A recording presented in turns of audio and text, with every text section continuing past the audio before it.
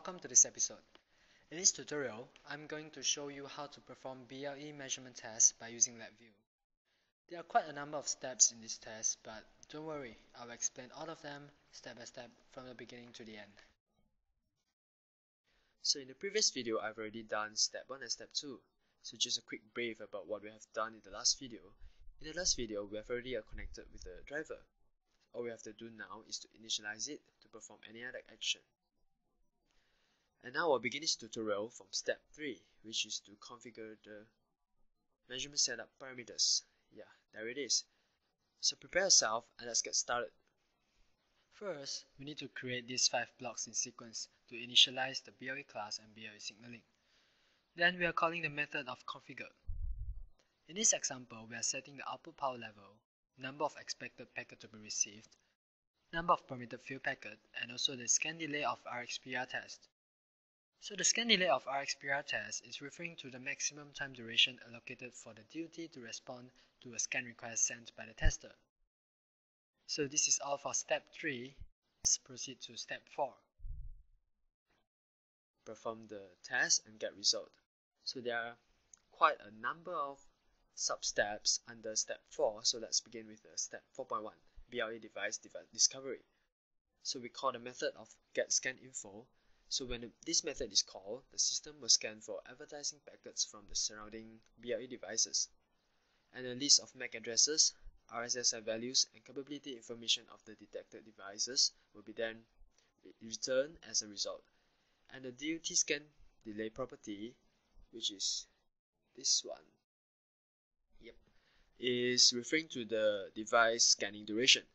And also you can make use of the RSSI filter to filter off the undesired device. So in the example, we set the filter to negative 60 dBm. So any detected device under the negative 60 will be filtered off. And the MAC address of the DUT will be tested, will be used in the subsequent methods for the measurement. And also the system has the capability to check if the device is able to support uh, active scanning or connect connection mode on either of them. So this is done by using the check active scan support method, this one, and also the check connect request support. Yeah, there it is. So by passing the MAC address of the DUT, so we can detect whether the DUT is supporting active scan or connect request or not.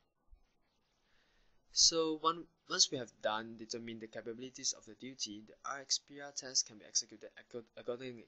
So in the receiver PR measurement, the tester is tracking the response message from the DUT to the connect to the request message sent from the tester.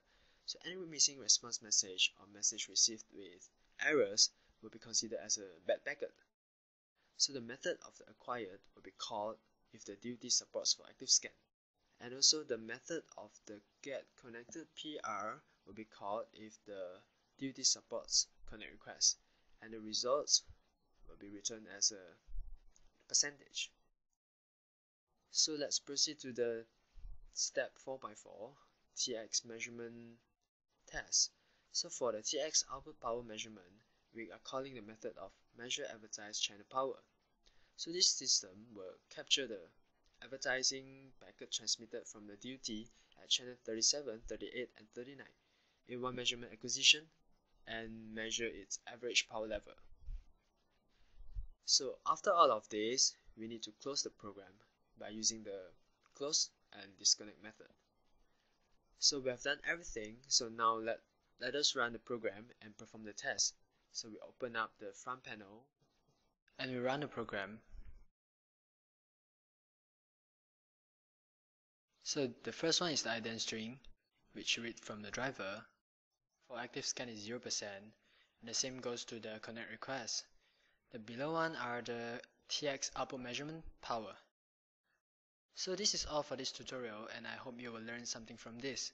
In the next episode, we'll go through how do we perform the wireless LAN measurement test. Thanks for watching and I will see you again in the next episode.